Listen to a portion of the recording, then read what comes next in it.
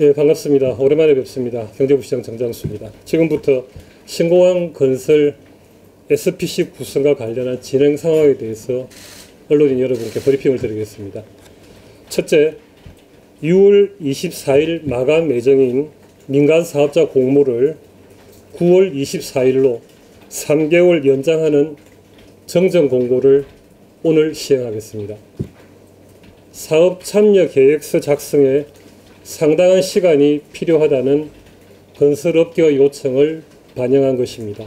실제 사업 참여 계획서에는 신공항 건설과 후적지 개발에 대한 기본 설계, 또 사업비 검토 및 사업성 분석, 그리고 완공을 위한 공정 관리 계획, 자금 조달 계획 등이 모두 포함되어야 하기 때문에 상당한 물리적 시간이 필요한 것이 사실입니다. 실제 가덕 신공항의 경우에는 제안서 작성 기간을 5개월로 두고 있다는 점도 참고해 주시기 바랍니다.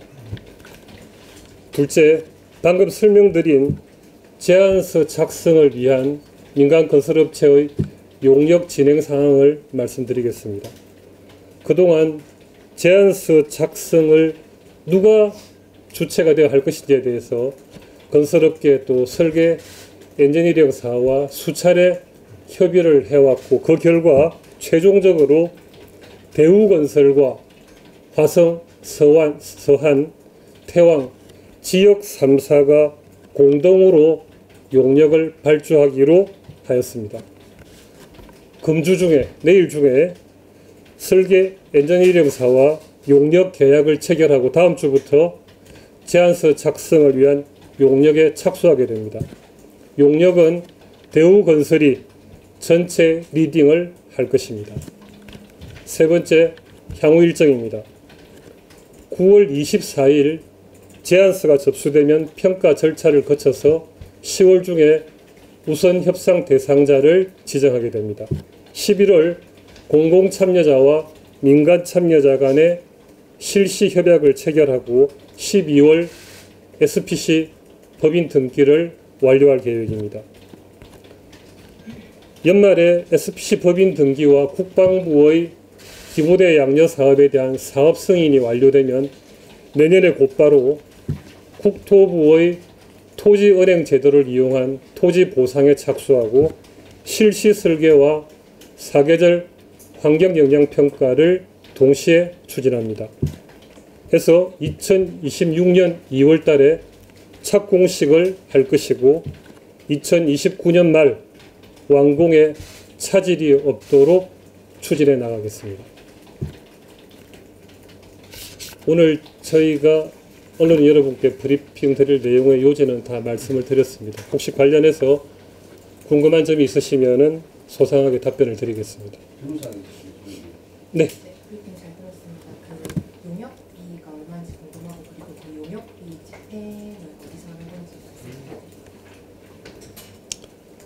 용역은 민간 건설업자가 우리 대구시 그러니까 사업 시행자에게 제안서라고도 하고 사업 참여 계획서라고도 합니다만 그걸 제출하기 위해서 건설사가 하는 것입니다. 당연히 계약의 주체는 민간 건설사와 설계 엔지니어링사가 되고 구체적인 용역비는 그건 민간 간의 계약 관계이기 때문에 제가 어, 소상 정확한 금액을 알 수도 없을 뿐더러 말씀드릴 내용은 아닌 것 같습니다.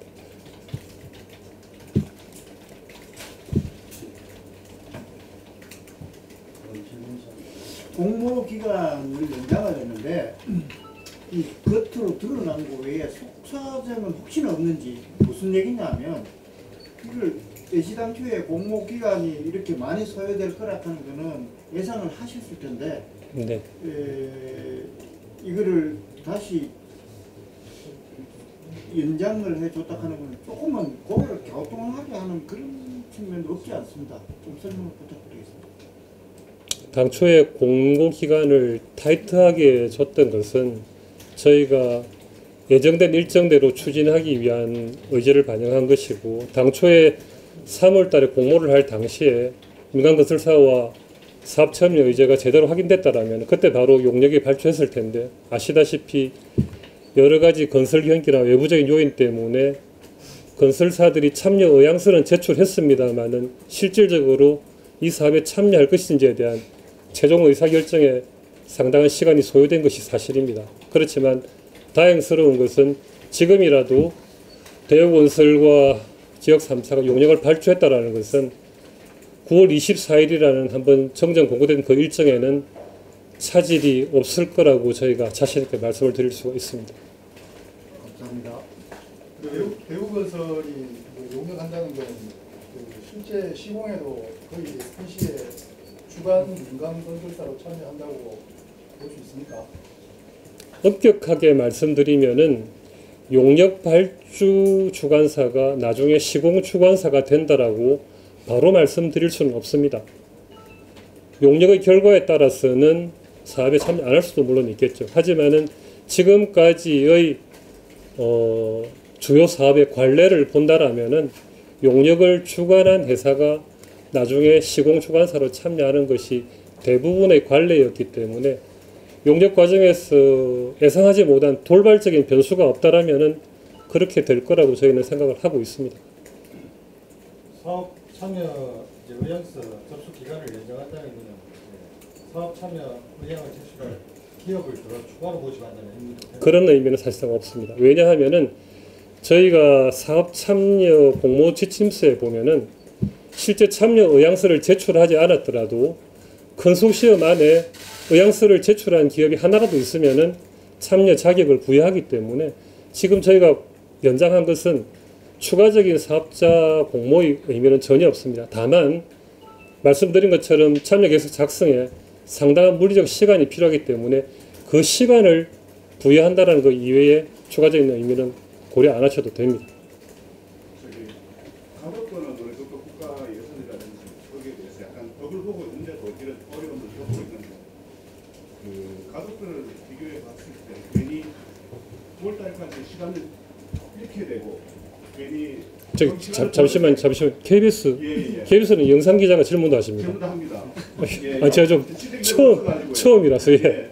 그래 되면 궁금한 건 뭐냐면 네. 괜히 업, 저 업체에다가 저 3개월의 시간을 갖다가 주기만 하고 그, 어, 우리가 3개월 시간을 벌기만 하고 3개월의 시간을 갖다가 줘도 나순대가 말씀대로 하시면 결, 그 체결이 안 될 수도 있으니까 이런 거 제가 그래서 설명을 드렸지 않습니까?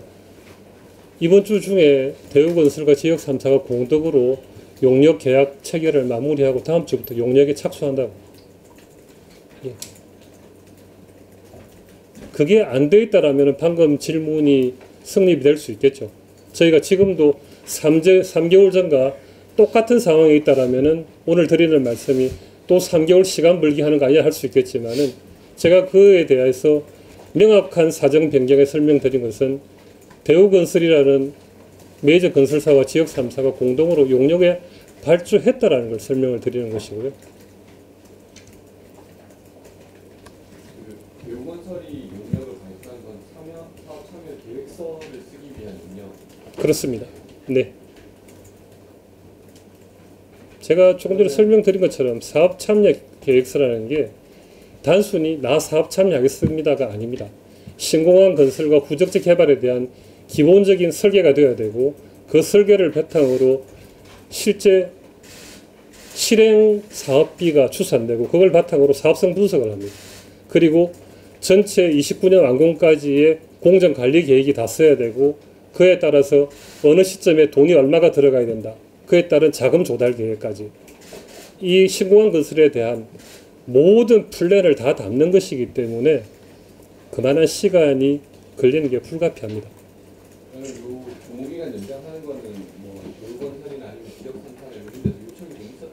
네, 그렇습니다.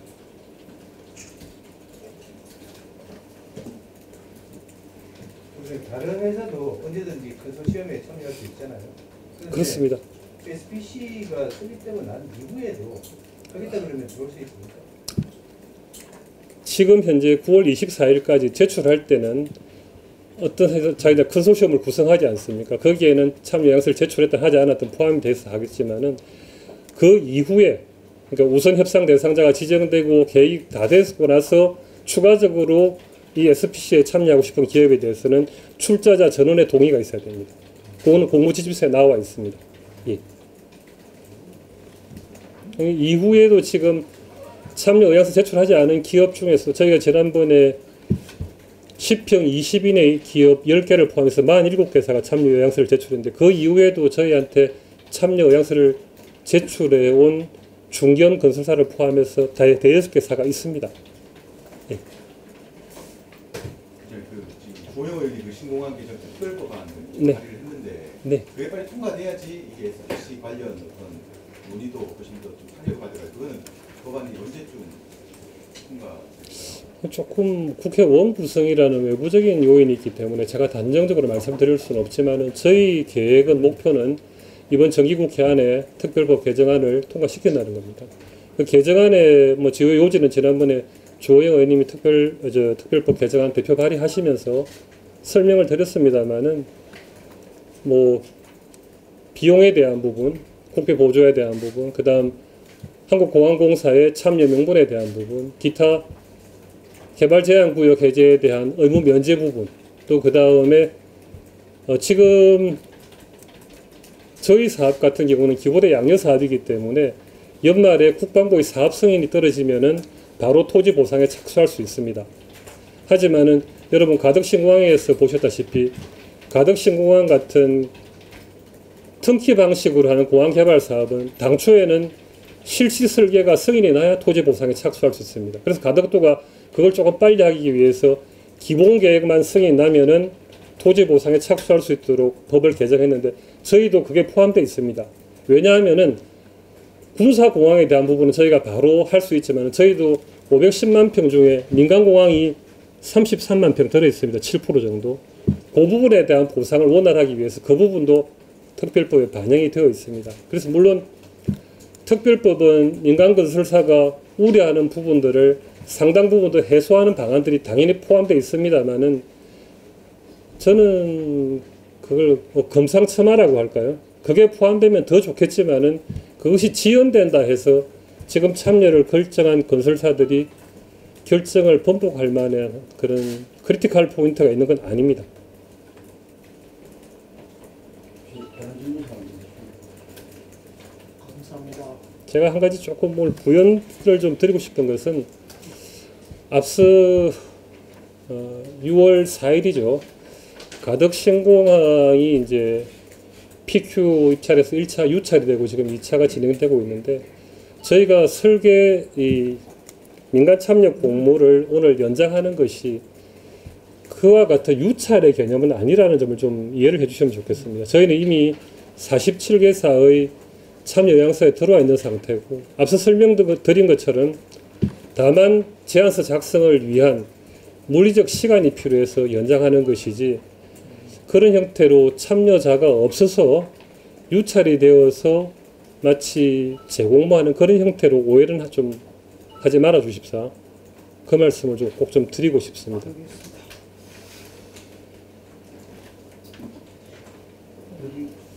이게 맞죠? 돼 있습니다.